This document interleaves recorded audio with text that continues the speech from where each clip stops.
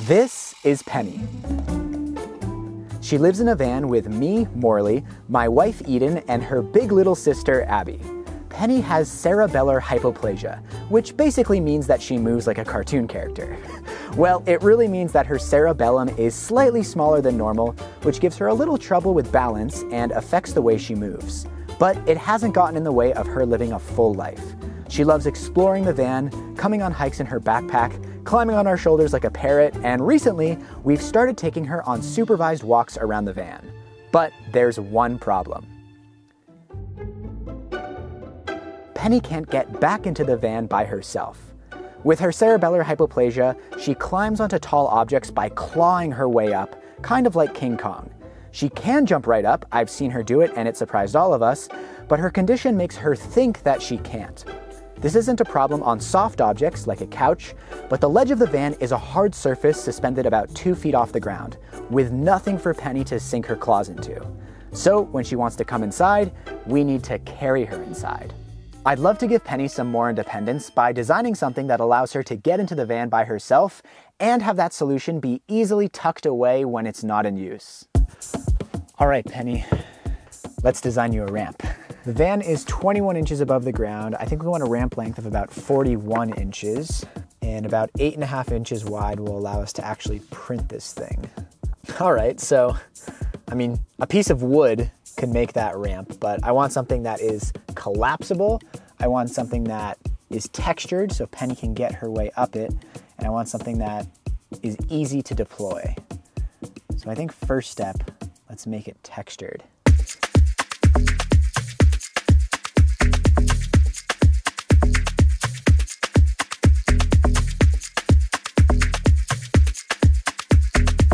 Boom, okay. So now we got a textured ramp. Definitely gonna need to split that into pieces to fit on the build plate.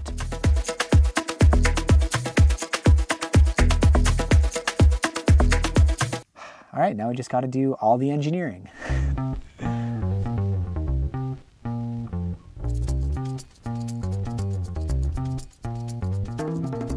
I just had a brain blast.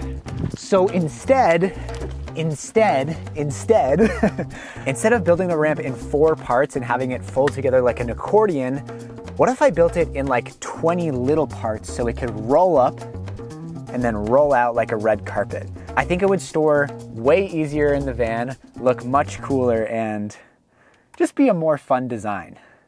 Let's do it. All right, so we can delete most of this from the timeline. Boop, boop, boop, go all the way back to just our basic ramp. So if we do links that are inch and a half long, yeah, one and a half, it's gonna roll up into like a giant cylinder. So we, we gotta make it smaller. Let's change that to, let's change length length to one. And since we used parameters, everything should update live. The only thing is that makes 40 lengths. That's gonna be a lot of 3D printing. It's all good. That's why we're doing this. The 3D printer's doing the work.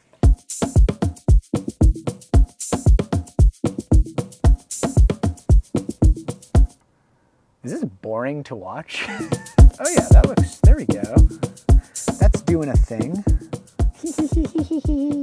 when I do 3D design, I like to get to a first prototype as fast as possible so I can iterate quickly and improve.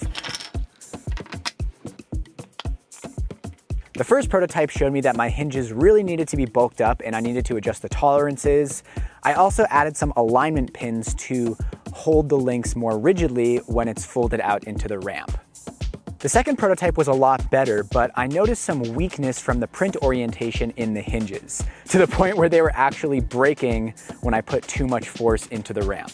This was a tricky problem to solve, so I focused on designing the rest of the link with a grid pattern so Penny could climb up it with her claws, before I realized a great simple solution. Since the weakness in the hinges were caused by the print orientation, I just sliced the hinges off of the rest of the link, oriented them 90 degrees on the print bed so that the layer lines are working with me instead of against me, and then just added some alignment pins so I could glue them on to the rest of the links. I think this will work well, so I set up a batch of five links. It's gonna take eight hours to print and I need 40 of them. So it's gonna be some jam-packed days of printing. Right as I started printing these pieces, we had to completely disassemble the van so that we could paint our cabinets and put up our walls, but fortunately I could keep the 3D printer plugged in and print Penny's ramp while we worked on the van. However, this left Penny without her little cave and completely exposed to surprise attacks from Abby.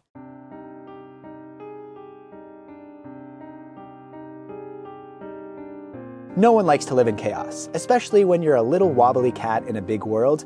But thankfully, Happy and Polly, the sponsor for this video, sent some perfectly timed cat furniture so that Penny could still have some cozy nooks amidst the construction. Since we're camped out in the desert, Penny loves sunning herself on the wooden sunset cat couch, which has to be the most luxurious piece of pet furniture I've ever seen. I mean, just look at this absolute queen. When she wanted a bit more protection, she loves curling up in the mushroom cat house. Honestly, this thing looks so soft and cozy, I would happily take a nap in there if it was human sized. They also sent this great Sisal scratching pad, which will hopefully lure Penny away from destroying Eden's handmade cushions. It also has a string so we can hang it from the wall or the back of the seats. And perhaps the star of the show, the flower-shaped cat bed, has quickly become Penny's favorite. So much so that once we finish the renovations, we move the flower bed permanently into her nook. Check out the links in the description for all of these products or go to happyandpolly.com for more cat furniture and toys. Thanks again to Happy and Polly for sponsoring this video. So after a week of printing, a kilogram and a half of filament, and an hour of removing support material, we are finally ready to start putting this thing together. Just in case you were wondering, Penny is here to help with assembly. So first things first, I want to attach all of the hinges to the links. So it'll go together just like this. Hopefully my tolerances aren't too tight. Oh, it's close. and we'll just use a bit of super glue or CA glue, not brand name, to reinforce the connections. All right, there's one. Now I just gotta do that 39 more times.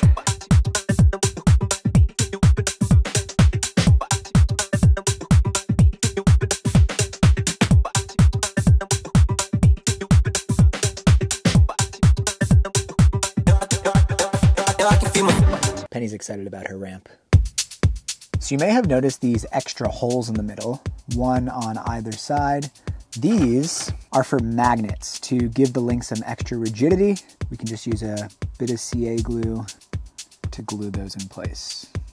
Easy way to not mess up the polarity, I can put these two links together. Oh, perfect fit.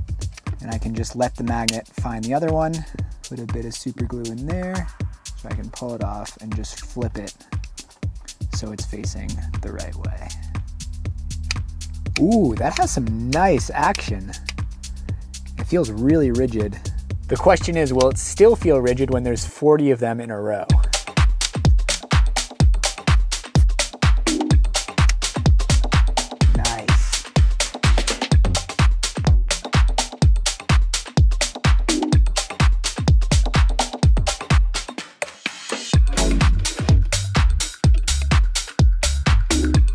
So uh, it's a little bendy.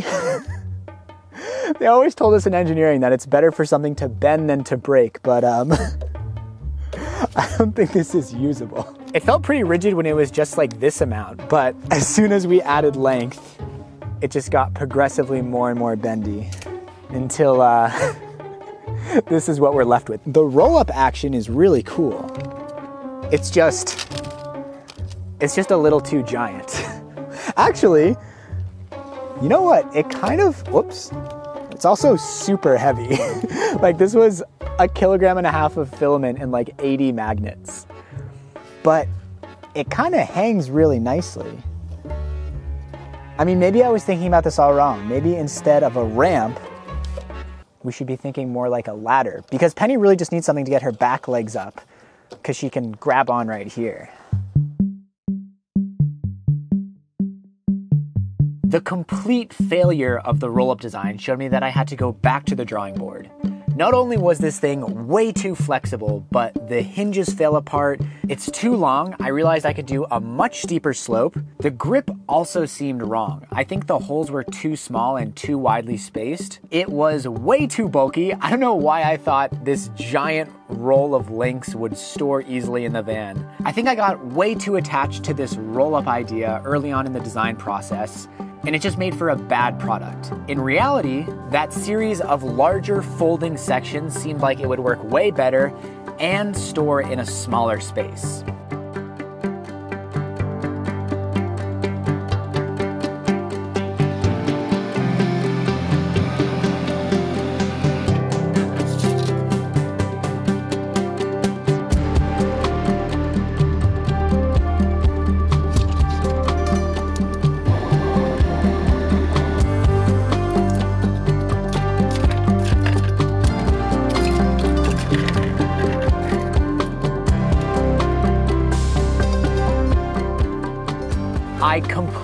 Redesigned the hinges. So instead of having them clip on, I did full barrel hinges. Again, 3D printing the barrels in a different orientation so that they were as strong as possible.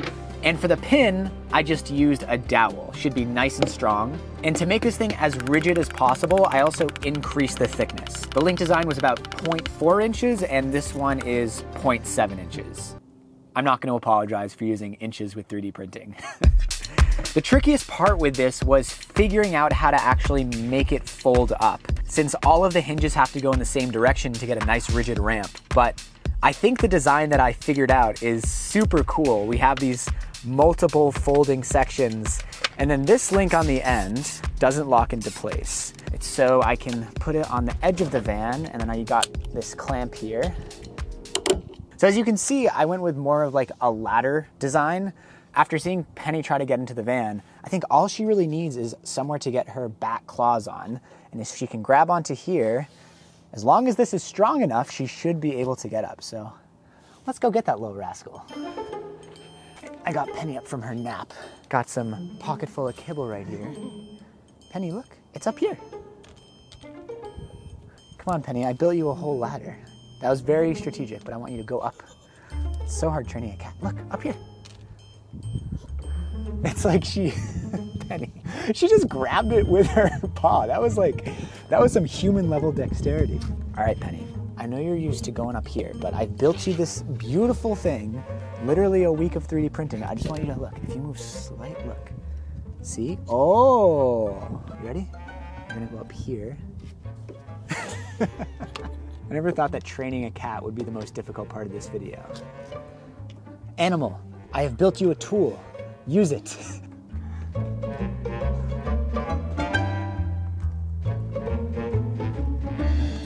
goodness. Penny, look. Look. Oh, yes. Come on, this way. You can do it. Yeah, come on. Yeah. Good girl. Good girl.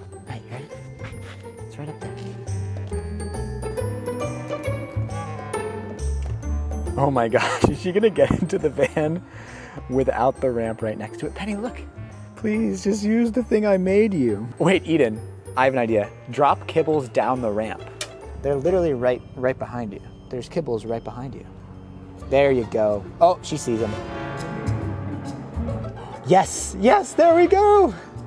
We got paws up. Yeah. Oh, we're getting there. I feel like it's just a matter of time. Abby's sniffing around too. She's like, oh, I heard there were kibble around. I heard there was free food. Use the ramp. Oh, wow, she almost jumped all the way up. Whoa! oh my god, that? I think so. that was amazing. I've never seen her jump like that. Has this ramp just showed her that she can get in the van without it? oh my gosh. I mean, I'd love to get her to actually use it, but if she can just get into the van on her own, kind of a success. Penny, I'm so proud of you. 3D printing solved my cat's disability. In a way that we didn't expect. I mean, I would love to get a shot of you using this ramp, but if you really don't need it, I'm, I'm just so proud of you. No matter how much I tried to lure her up with kibble, Penny just did not care about the ramp. Now that she knows she can get into the van on her own, she has no interest in my human made inventions. Which I guess is what you want with accessible infrastructure. I mean, I think I just inadvertently trained her to get into the van by herself. And as much as my ego wants to get a shot of her using the invention that I spent weeks on, I'm just proud of her for uh, for growing and surprising me. And I don't think I need to force getting this shot. I think I think this is a worthy ending. Where where is she? Let me go get her. If you would like to directly support this channel, you can gain exclusive access to behind the scenes content and my private Discord community by supporting this channel on Patreon. I would like to give a special thank you to my top supporter on Patreon, my mom, Kathy Kert. Thanks, mom. I love you. And I'm so proud of this little kitty cat.